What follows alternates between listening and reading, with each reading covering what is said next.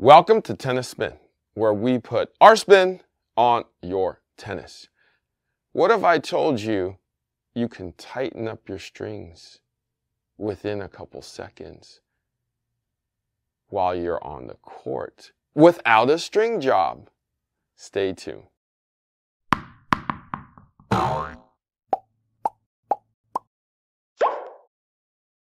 All right, coffee sponsor of today is Jerry. Jerry writes, Hey Harry, I really enjoy your informative channel. I've been intro introducing my wife, Monica, to tennis and your channel. If you could, please give Monica a shout out and some words of encouragement on your video. It would be very, it would be a very welcome surprise. Thanks again for all you do. Oh, thank you, Jerry. Monica, I know it's tough if your spouse teaches you how to play tennis, because I know. but don't let it get to you, okay? Tennis is a very progressive game. The more you play, the better you'll get. That's just plain and simple. Um, have fun with it.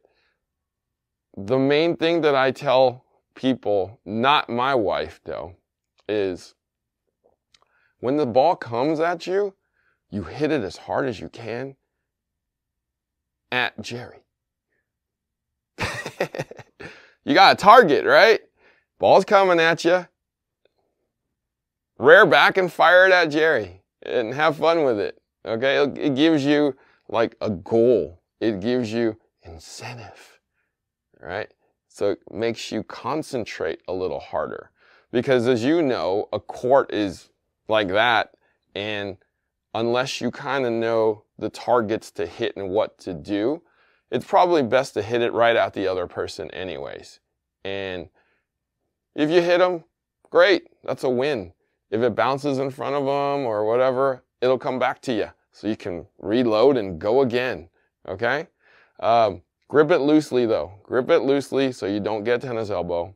And form more than um, than overhitting. Okay, just slowly build up to the power, and then when the time is right and you get that perfect ball, you nail them. Okay. but have fun doing it, Monica. It's it's it's a great game, uh, and you'll you'll love it, and you'll grow with the game. Okay. Jerry, thanks for the coffee. Monica, stick with it. You'll you'll love it. You'll love it. All right. If you want to be my coffee sponsor of the day, network is buymeacoffee.com forward slash tennis spin. Thank you all so, so much. If you want to support the channel, super thanks is the way. Link below. You can hook us up with as much or as little as you'd like. All right. Here's all the husbands out there and all the wives out there. Stick with it and have fun with it. That's just my words of advice. Don't take it too seriously. All right. Speaking of tension, yeah, you know where I'm going with it. But not that kind of tension. Guys, what are these things? It's called the Retenser. You can actually with these little things be on the court with your racket. And if and when your strings are too loose, you can adjust it. You can make it tighter. When your string, let's say, dies or falls off a cliff, all you have to do is make a couple adjustments, which takes seconds, and tighten up your strings. No way. Who thinks of things like that? Well, my man Sander did. He's the inventor of the Retenser. That's actually what it looks like. It gets strung in like that. We're to actually show you how to string it.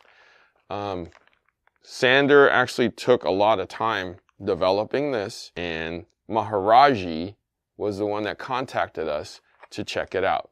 So I'm super excited to um, test out this product because, I mean, unless you're a professional and you have access to a stringer while you're on the court, there's not too many options to, you know, other than carrying around two, three, four rackets with different tensions on it when your string, you know, dies or yeah, when it when it's time when it goes. Um, so I'm going to take a specific racket, which I deem to be a little more on the more flexible side, and I'm going to take a string that I deem to be soft and loses tension fairly quickly, and I'm going to go string it right now. All right, let's go to the machine. Okay, so grommets are in. I've strung my first mains through the center. It's 50-50 now. So I take the protector here. Okay, so this is the four hole protector for the eight hole bridge. I take the insert. Now there's two different ones that you'll see. Take the one that's appropriate for your racket, okay? And I just snap it in like so. Now there's a plus and a minus on that. We want the minus to face up. So we want the minus to be ups, up like that. Okay. And we're going to take the string. And I'll explain to you what that means uh, with the minus facing up. in a second here. All right, in like Flynn, minus is facing up. Okay. Now I'm to make it, I take the next piece, which is this piece. Okay. Now this is to be the, your tensioner. This is to add or minus um, kilos from the middle of your string bed, okay? So I take this piece with this hole facing up and that hole facing sideways, okay? And put it right in there like this. I take this number one string, watch carefully guys, and I put it through this hole. I pull it through the other side. like so. Okay, you see that? And then I take this string, hole number two, as it goes through. So now it's in play, okay? So what I'm gonna do right now, just for video sake, I'm gonna clamp it right there so it doesn't move. Okay. So this is actually your tensioner.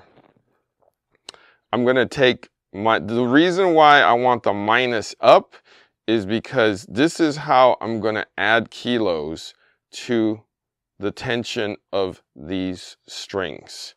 And I will have a key in which to add the kilos. And I'll show you after I'm done stringing this racket. All right, so we just finished stringing the white out here. Now, there's a reason why these two tubes are facing this way, and that's a minus symbol. This particular orange grommet wheel, I call it, um, while it's facing up, we put a key in here and we crank it down. When we crank it down once, it's 1.5 kilos that you're adding. When you crank it all the way around, it's three total kilos that you're adding. And it's gonna be, when you crank both of them down, it will affect like a total of all these strings. So let's say you're hitting and your strings, you feel your strings are losing tension. Somebody's blasting the balls at you and it's hard for you to keep the ball in the court. Well, get the key out, crank it down. So let's get on the court, try it out. We know this is going to lose tension fairly quickly and then crank it up.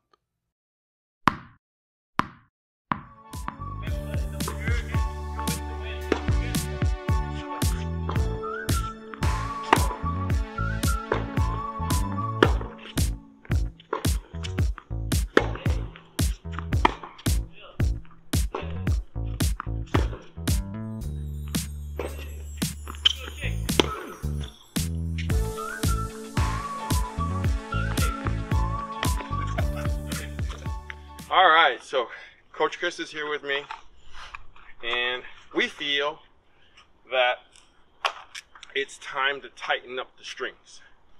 So all you got to do is take the key out, like so. Look, they even give you a handsome little strap to go around your wrist so you don't lose it. So I'm to stick it in, like so.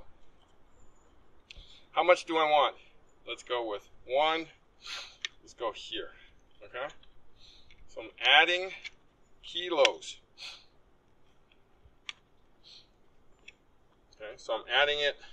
Do I want more? If I want more, I could just go right back in and add my full three kilos.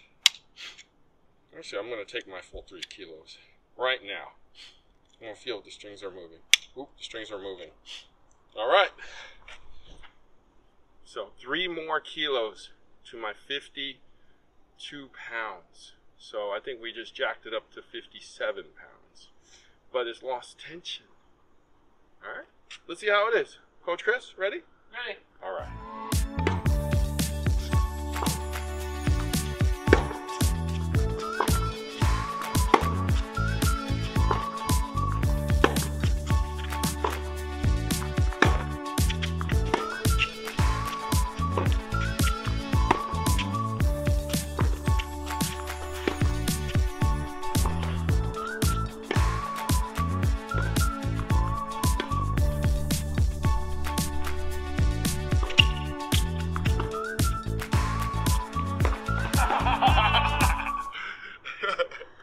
All right, so we just got off the court. I'm pretty impressed. But, coach, what did you think? Um, I really like the idea. I think in the middle of playing matches, if or practice too as well, if you feel like the racket tension is losing a little bit, you can get a little bit more out of the strings by tightening it on the court. Normally, you might, and it's actually in the more, this is the most important part of the racket. It's in the center. I think it's the eight strings here that you got going on. So once you tighten it up, um, hitting with it, it felt like the racket got a lot tighter.